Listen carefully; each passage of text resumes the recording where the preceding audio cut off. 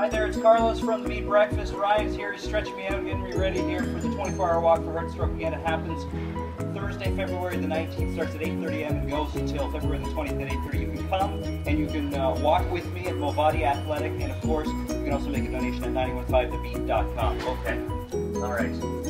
What's happening now? So sorry, they're good. Really Oh, okay, yeah, you're gonna just go open me right up. Open me right up. Okay. Oh, hello. Yeah, that's pretty good.